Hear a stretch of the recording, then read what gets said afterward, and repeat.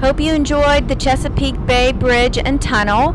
Don't forget to subscribe and hit that notification bell. See you next time. Bye.